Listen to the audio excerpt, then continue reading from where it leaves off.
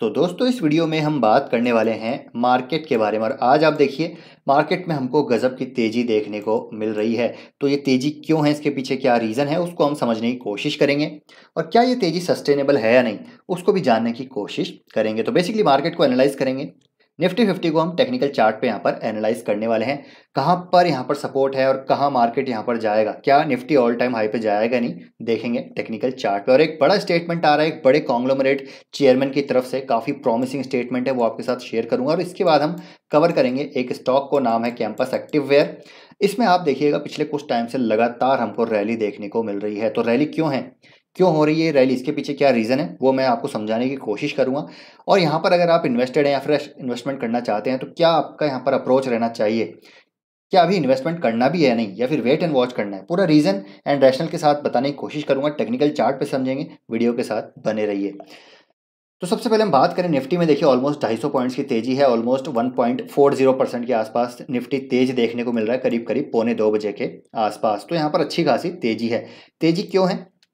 तो अगर आप देखें फ्यूचर्स तो real time stock index futures आप देख रहे हैं तो निफ्टी और बैंक निफ्टी में आप देखिए फ्यूचर्स में हमको अच्छी खासी तेज़ी देखने को मिल रही है। तो गजब के यहाँ पर फ्यूचर्स अप हैं। और अगर मैं Dow Jones S and P Nasdaq यानी कि यूएस मार्केट्स की बात करूँ तो उनके फ्यूचर्स भी ऑलमोस्ट फ्लैट ही हमको देखने को मिल रहे हैं। बहुत ज़्यादा नेगेटिव देखने को नहीं मिल रहे हैं। हालाँकि इक्कीस तारीख, यानी कि कल के दिन एक बहुत बड़ी यहाँ पर मीटिंग होने वाली है इकोनॉमिक पॉइंट ऑफ़ व्यू से। उसके बावजूद मार्केट में आप देखिए यूएस के मार्केट्स में बहुत ज़्यादा यहाँ पर गिरावट नहीं हो रही वॉलेटाइल मामला नहीं है। तो उसकी वजह से मुझे लग रहा है मार्केट यहाँ पर, हमारा मार्केट वैसे ही यहाँ पर एक तो वैसे ही रेजिलेंट है, उसको, उसकी वजह से भी यहाँ पर बीट करता हुआ नज़र आ रहा है। तो निफ्टी फ्यूचर्स डेफिनेटली यहाँ पर अप है यूरोपियन मार्केट्स भी आप देखेंगे तो ऑलमोस्ट फ्लैट टू पॉजिटिव ही हमको देखने को मिल रहे हैं। ऐसा प्रतीत हो रहा है, शायद यहाँ पर जो, यहाँ पर फेड है, वो 75 बेसिस पॉइंट्स हाइक करने वाला है। अगर देखिए, मान लिए, मान लीजिए अगर 75 बेसिस पॉइंट्स हाइक करते हैं वो तो मुझे लगता है यहाँ से मार्केट और ज़्यादा तेज होता हुआ नज़र आएगा।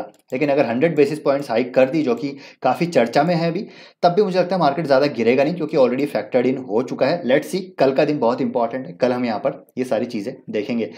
तो ये जो रैली है, आज की जो रैली है, ये कहीं ना कहीं दोस्तों हो सकता है सस्टेनेबल ना हो, क्योंकि अगर कुछ ना कुछ यहाँ पर उल्टा सीधा अगर यहाँ पर हाइक यहाँ पर कर दिए, कुछ स्टेटमेंट हॉकिश आ गया तो फिर मार्केट गिरता हुआ नज़र आएगा, क्योंकि ऑलरेडी जो ट्रेजरी यील्ड्स है यूएस की मैं बात करूँ तो देखिए ten year treasury yields jumps to three point five one percent highest level since 2011 तो ट्रेजरी यील्ड्स यहाँ पर हाइएस्ट लेवल पे हैं अपने दस साल के मतलब एक डेकेड की यहाँ पर बात हो रही है, जो यूएस के बॉन्ड मार्केट है, वो बहुत हाई हमको देखने को मिल रहे हैं। और आपको पता है, जब भी बॉन्ड मार्केट यहाँ पर जब ट्रेजरी यील्ड्स बढ़ती है तो डेफिनेटली बॉन्ड यील्ड्स बढ़ती है तो यहाँ पर इक्विटी मार्केट के लिए वो एक खतरा होता है, क्योंकि सेफ़ हेवन होता है यहाँ पर ट्रेजरी यील्ड्स यानी कि बॉन्ड मार्केट तो इक्विटी मार्केट में से पैसा निकलता है, ये हम कई बार चर्चा कर चुके हैं, अब तक तो आपको यहाँ पर ये रट चुकी होगी चीज़ें तो ये समझिए कि बॉन्ड मार्केट मज़बूत होता है तो इक्विटी मार्केट यहाँ पर कमज़ोर होगा, और यहाँ पर अगर इंटरेस्ट रेट और ज़्यादा हाइक करी तो फिर और भी यहाँ पर हमको बॉन्ड मार्केट बॉन्ड यील्ड्स बढ़ती हुई देखने को मिल सकती हैं। तो देखिए डेकेड हाई पे हमको ट्रेजरी यील्ड्स देखने को मिल रही हैं।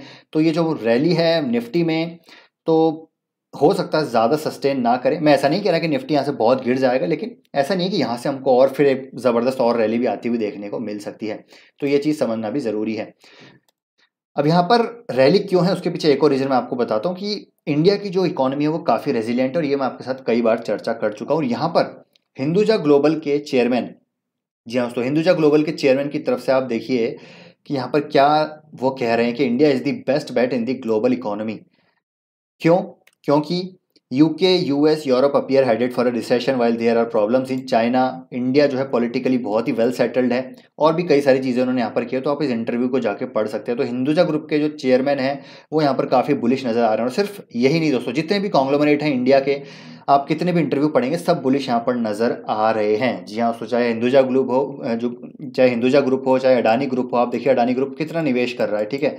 चाहे यहाँ पर अंबानी जो है कॉन्ग्लोमरेट हो या फिर टाटा हो हर किसी के मुँह से यहाँ पर पॉजिटिव स्टेटमेंट्स ही आपको देखने को मिलेंगे और इसीलिए इंडियन मार्केट इतना रेजिलियंट है और अगर हम कंपैरिजन करें डिफरेंट पीयर्स का जो कंट्री है इमर्जिंग या फिर डेवलप्ड इकोनॉमीज़ वो यहाँ पर अभी सही नहीं चल रही है। उनकी जो हालत है वो ख़राब है। इंडिया यहाँ पर अभी ठीक है। इसलिए आप देखिएगा कि इंडिया जब गिरता है तो यहाँ पर उससे जितना गिरता है, उससे तेज़ी से ज़्यादा रिकवर करता है। ठीक है? तो यहाँ पर अगर निफ्टी की एनालिसिस की बात करें तो देखिए, एक इस लेवल के नीचे आ गया था। ये जो ट्रेंड लाइन था, ये हमने पहले ड्रॉ करी थी, आपको पता ही है, मैं कई टाइम से एनालाइज कर रहा हूँ उसको। तो ये जो है रेजिस्टेंस था, इसके नीचे अभी चला गया था निफ्टी लेकिन अभी वापस से जब मार्केट में रिकवरी आई तो देखिए क्या गजब की हमको रिकवरी आते हुए देखने को मिली है। और एक ये जो ट्रेंड लाइन मैंने ड्रॉ की थी यहाँ पर, ये वाला जो सपोर्ट था, इस, इसी का सपोर्ट लेके वापस मार्केट ऊपर जा चुका है। तो कहीं ना कहीं ऐसा लग रहा है निफ्टी इस ईयर एंड तक यहाँ पर अपने ऑल टाइम हाई पे हमको जाता हुआ देखने को मिल सकता है, जो कि है यहाँ पर करीब करीब अट्ठारह हज़ार छः सौ के आसपास। तो फेस्टिव डिमांड भी हो सकती है। कंजम्पशन हमारा डेफिनेटली बढ़ेगा। तो फेस्टिवल डिमांड आएगी और मुझे लग रहा है दिसंबर एंड एंड तक यहाँ पर मार्केट ऑल टाइम हाई पे जा सकता है। बाकी अगर नीचे भी रहता है मार्केट तब भी कोई दिक्कत नहीं है। हम तो वैसे भी लॉन्ग टर्म निवेशक हैं। मार्केट हाई जाएगा तो खुशी होगी, नीचे जाएगा तब भी खुशी होगी एक्यूमुलेट करने का मौका मिलेगा। तो मार्केट में बने रहना काफ़ी इंपॉर्टेंट है। अगर आप गिरावट में पैनिक में बेच देंगे तो फिर देखिए, ये जो चीज़ें हैं, ये मिस हो जाएँगी। ये बहुत आगे की स्टोरी है, दस साल की स्टोरी है। इसको प्ले करना है आपको। दस नहीं इनफैक्ट बीस, आगे दस, बीस साल की कहानी है इंडिया इसको आपको डेफिनेटली प्ले करना है तो मार्केट में बने रहना ज़रूरी है। बाहर निकल जाएँगे तो फिर कुछ भी नहीं कर पाएँगे, ना ही बेच पाएँगे, ना ही खरीद पाएँगे साइड लाइन से देखते रहेंगे और बस कोसते रहेंगे अपने आप को। तो ये बात ध्यान रखिएगा। चलिए होगी मार्केट की बात, अब बात करेंगे हम कैंपस की। तो कैंपस एक्टिव वेयर अभी हाल ही में लिस्टिंग हुई है आई थिंक अप्रैल या मई अप्रैल में आई थिंक लिस्टिंग हुई है इस कंपनी की। मई के आसपास अप्रैल मई के आसपास लिस्टिंग हुई है और तब से लेकर ये स्टॉक लगातार भाग रहा है। अब अगर मैं टेक्निकली बात करूँ तो देखिए, इसका जो लो था वो करीब तीन सौ का था और अभी कितना हो चुका है? पाँच छः सौ के आसपास मतलब मोटा मोटा बात करें तो स्टॉक डबल हो चुका है तीन चार महीनों में ही।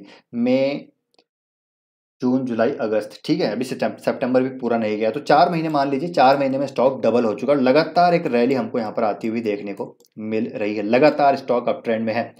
अब यहाँ पर क्या बाइंग करनी है नहीं करनी? तो देखिए कंपनी अच्छी है, इसमें कोई शक नहीं है। यहाँ पर अगर मैं कंपनी के पॉजिटिव्स की बात करूँ तो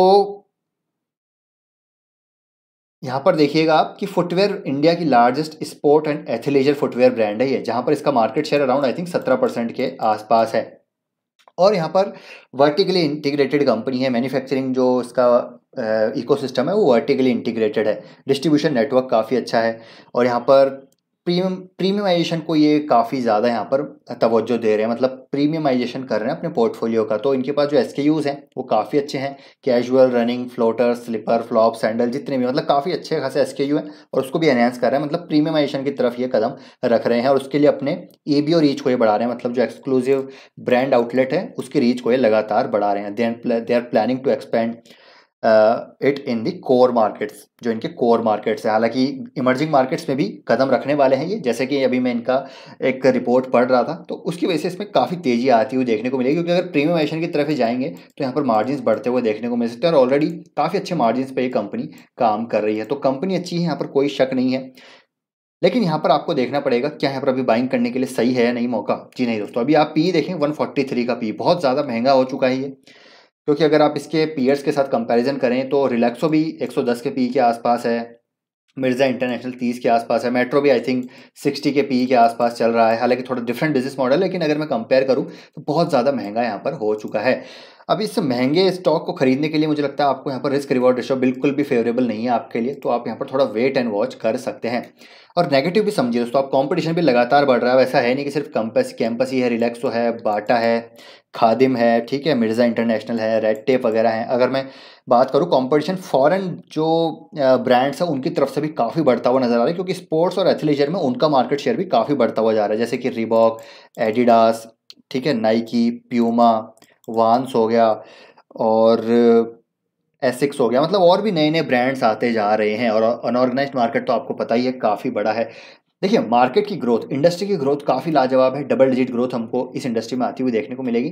लेकिन किसी भी कंपनी को किसी भी लेवल पे खरीदना, ये अच्छा अच्छा नहीं है और ये हमने पिछले दो साल में सीखा है। तो वैल्यूशन को हमेशा रिस्पेक्ट करना है। इस वैल्यूशन मुझे लगता है ये रिस्क रिवॉर्ड रेशो फेवरेबल नहीं है।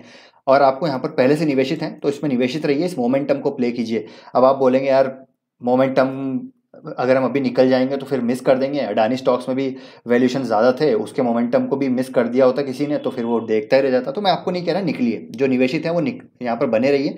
ये जो है टेन देखिए टेन ई जो है, ये एक मैंने यहाँ पर इंडिकेटर लगा रखा है। टेन ई को जब तक ये रिस्पेक्ट कर रहा है, इसमें बने रहिए आप। टेन ई का आप इंडिकेटर अपने चार्ट पे लगा सकते हैं। टेन ई तक जब तक ये सपोर्ट कर रहा है, बने रहिए। जैसे ये टेन ई को ब्रेक डाउन देता है विद वॉल्यूम तब आप यहाँ से निकल सकते हैं या फिर प्रॉफिट बुकिंग कर सकते हैं। अगर आप बहुत ही निचले स्तरों से हैं तो प्रॉफिट बुकिंग कर सकते हैं। मैं ऐसा नहीं बोल रहा, पूरा निकाल लीजिए पार्शियल प्रॉफिट बुकिंग कर सकते हैं। और फिफ्टी डे मूविंग एवरेज को ये जब तोड़ेगा तो आप इसमें और अपना पैसा निकाल सकते हैं धीरे धीरे पार्शियल प्रॉफिट बुकिंग आप कर सकते हैं। क्योंकि वैल्यूशन बहुत ज़्यादा है वैल्यूशन का रिस्पेक्ट करना बहुत ज़रूरी है, क्योंकि कॉम्पिटिशन यहाँ पर लगातार बढ़ रहा है। फॉरन प्लेयर्स का कॉम्पिटिशन बढ़ रहा है। डिमांड अगर वीक रही tier two tier three cities में तो अब इसका प्रेशर रहेगा। इनपुट कॉस्ट अगर बढ़ गई, तब यहाँ पर इसके मार्जिन घटेंगे प्रॉफिटेबिलिटी घट जाएगी। एग्जीक्यूशन रिस्क रहता है हमेशा से ही।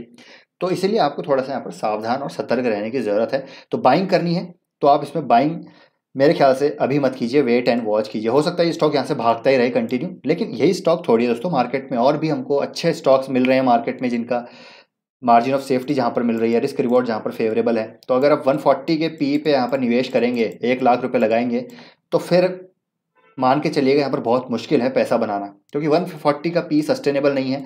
30 20 30 परसेंट की ग्रोथ के लिए इतना हाई पी देना यहाँ पर डेफिनेटली बहुत ही ज़्यादा नुकसानदायक हो सकता है। तो वैल्यूशन का रिस्पेक्ट करना बहुत ज़्यादा ज़रूरी है। अगर भागता है तो भागने दीजिए और दूसरे स्टॉक्स है हमारे पास वहाँ पर बाय कर लीजिए। रिलैक्सो देखिए उससे अच्छे वैल्यूशन पर मिल रहा है आपको मिर्ज़ा उससे अच्छे इंटरनेशनल में मिल रहा है। मेट्रो काफ़ी अच्छा यहाँ पर बिज़नेस मॉडल है उसमें आप निवेश कर सकते हैं। लेकिन कैंपस से मुझे लगता है थोड़ा वेट एंड वॉच करना चाहिए। वेट कीजिए एक, एक क्वार्टर के नंबर्स का लेट सी किस प्रकार नंबर आते हैं। हालाँकि डेफिनेटली यहाँ पर ग्रोथ काफ़ी अच्छी है हो सकता है ये स्टॉक ऊपर जाए थोड़ा, लेकिन एक बार इसको कंसोलिडेट करने दीजिए, थोड़ा यहाँ पर वैल्यूशन को ठंडा होने दीजिए, तब इसमें आप निवेश कर सकते हैं। तो ये है दोस्तों पूरा एनालिसिस आई होप ये वीडियो आपको इन्फॉर्मेटिव लगा होगा, और ऑलरेडी कल के दिन जो वीडियोस आए थे, वो भी आपने आई होप देख ही लिए होंगे ज़रूर तो इनको भी जाके देखिएगा, बहुत इंपॉर्टेंट वीडियो है। और चैनल को सब्सक्राइब नहीं करा अभी तक सब्सक्राइब कर लीजिए। मिलते हैं नेक्स्ट वीडियो में। Till then take care bye bye